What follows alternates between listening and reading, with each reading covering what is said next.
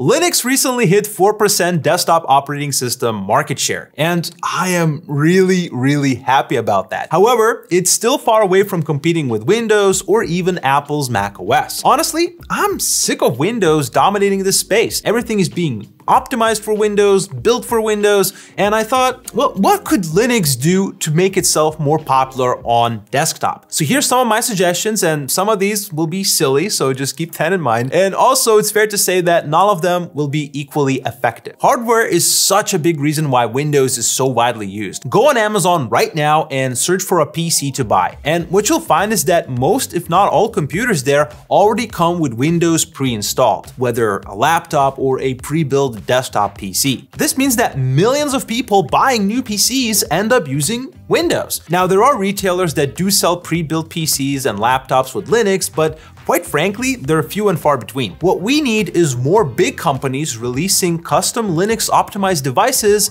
like the Valve's Steam Deck. That thing is awesome and it runs well not just because it has a decent mobile AMD chip in it, but also because Valve really optimized SteamOS. Unlike with Windows, companies can build custom interfaces and settings that work really well with the hardware. And Steam Deck is a prime example of that, as it has custom overlays that help you choose how you want the game to run, like you can limit the FPS or increase it to optimize battery life, as well as provide you with useful info. In addition, the whole OS is gaming optimized, so you get that console-like experience, but you also have the choice of using it as a regular PC. I honestly believe that this one handheld console from Valve was a big factor in getting Linux to that 4% market share mark. Now, can we get more companies to follow a similar pattern? I mean, truth be told, you don't even have to design a new device for that. Take Sony's PS5, which runs a custom Zen 2 chip that's most similar to something like a Ryzen 3700X, and a GPU that's best compared to a Radeon RX 6700 Non-XT. I mean, those are really not too shabby specs for just $500. If Sony could just add a desktop mode to the PS5 interface with Linux where you could hook up a mouse and keyboard and use it your, your PS5 as like a home PC for homework and media consumption and maybe even content creation with editing, that would be so cool. And given that there's over 50 million PS5s in the world, it would certainly help Linux become more widely used. By the way, that wouldn't be Sony's first time ever doing this as they did release Linux for the PS2 back in 2002. Later on with the release of the PS3, it too had the option to run Linux. However, uh, in 2009, the support for it was uh, dropped for unknown reasons. And I mean, I can only speculate why they did that, but maybe not enough people used it question mark. Again, Valve and Sony are just examples that with good hardware that can also run Linux, they can make a really big impact to make Linux become more popular. Now, when we're talking about advertisements, a lot of people assume that they just don't work, which is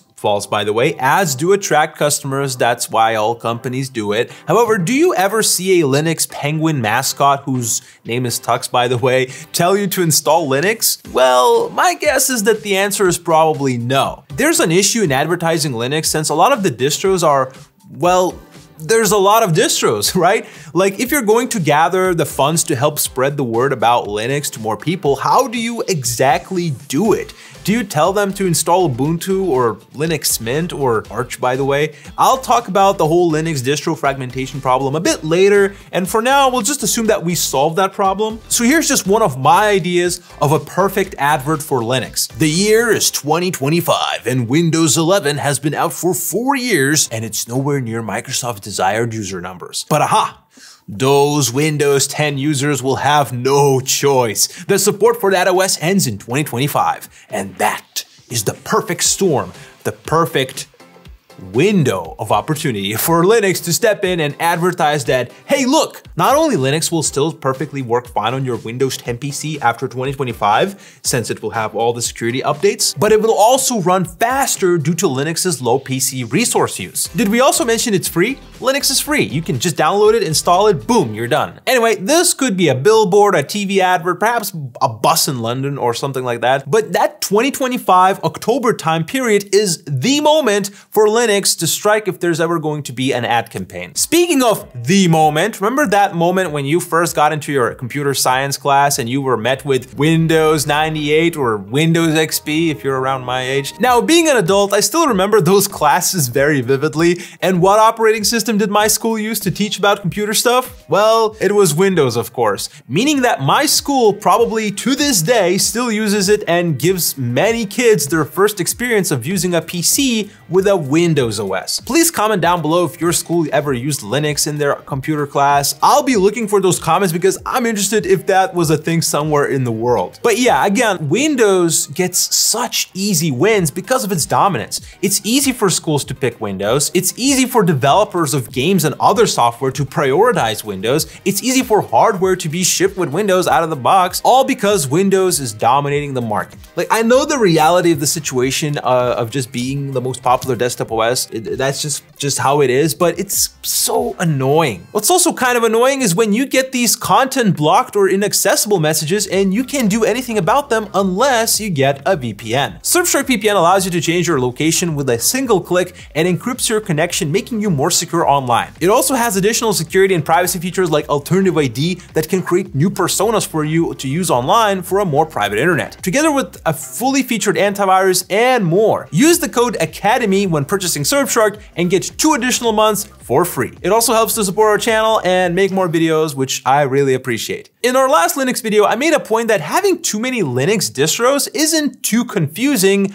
but honestly, reading your comments and talking with a few of my friends, I perhaps want to change my stance on that. Like I know that many Linux enthusiasts consider that having more distros is a benefit. I don't disagree with that at all, but we have to acknowledge that this distro fragmentation does present some challenges when bringing in new users to the platform. It matters less when there's a device that's already running a predetermined and pre-installed version of Linux, like again, Valve Steam Deck with SteamOS. However, just look at the advertising part or or recommending a distro to your friend. Several distros come across your mind when doing so, and you might even recommend different distros to different people, which I guess like it can be a benefit, but at the same time, it's like, you know, it presents this challenge when everyone's going to be using a different OS, kind of. So look, I don't like consolidation, but can we just agree that if we had the Linux distro, like a singular entity that would be the de facto default for every Linux user, that it would make downloading it easier, support support would be easier and also advertising would be a lot simpler, etc, etc. Ubuntu, I think, is one of the most popular distros out there, at least in my circle. People just assume that Linux was Ubuntu. Anyway, put in the comments below, let me know if we need just one distro, and if we had that one Linux distro, how would that impact the market share? Now, my final proposal is perhaps a little out of this world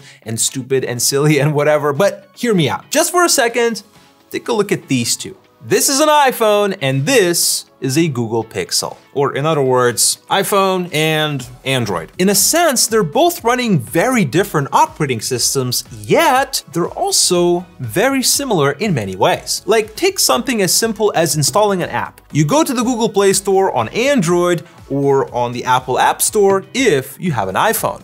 And both devices, you just click install and boom, the app is installed and ready to use. Software updates are also very similar and are handled in a very similar manner. Using a camera is simple, right? You just open and you just snap a picture. They have similar phone unlocking features, like, you know, you have your Face ID and your camera unlock on the Pixel. Now, I'm not saying that Linux and Windows are super different. I actually always recommend Linux Mint to people who are switching from Windows to Linux. But even so, there are differences between the two. Like on Linux, you can install apps via the Snap Store, which is kind of like the Windows Store, or you can also use the software manager that's included. But I mean, who likes Windows Store anyway, right? Most users on Windows at least use .exes, and you can actually do the same thing on Linux as well if you're using Wine. Many Linux users tend to stick with the terminal since once you get used to it, installing apps actually is way easier by just typing in commands. And to be frank, the rest is also kind of similar,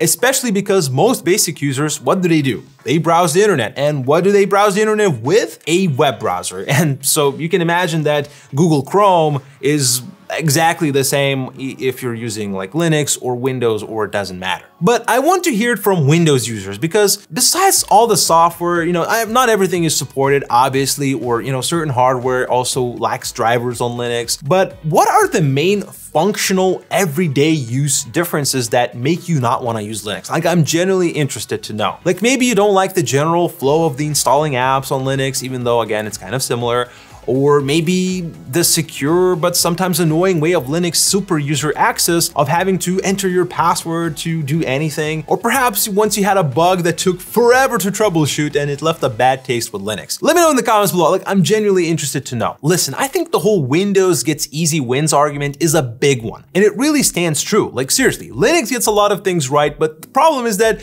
most people just don't get to experience it. They're stuck behind whatever already works and they call it a day. And I mean, can you really blame them for that? I was going to make this video a lot bigger and name like 10 reasons on how to make Linux super popular and increase the market share, make it much bigger, but I just can't. I simply can't come up with enough good ways to make it happen. I still do stand that by pre-installing Linux on new PCs, which people tend to buy, is probably still the best way to make Linux more popular, though you know, that is also kind of like a double-edged sword because at the same time, people who are used to Windows already, that could also leave a bad impression for new users when they realize like, oh, what is this Linux Mint thing? What is it? Like, I can't even install my .exe files, blah, blah, blah. Uh, Linux users should really celebrate the 4% number. It's a big achievement, honestly. I guess we should also thank Microsoft for that as well, since, well, some of their decisions do a great job of uh, promoting Linux with uh, their mishaps like having ads in the start menu. Ouch. By the way, go watch this video next where we go over reasons why Linux isn't as popular as it should be. And you can also watch me lose my mind over the fact that Adobe stuff is still not on Linux yet. And I'm hoping that will change. But anyway, that'll be all for now. Take care.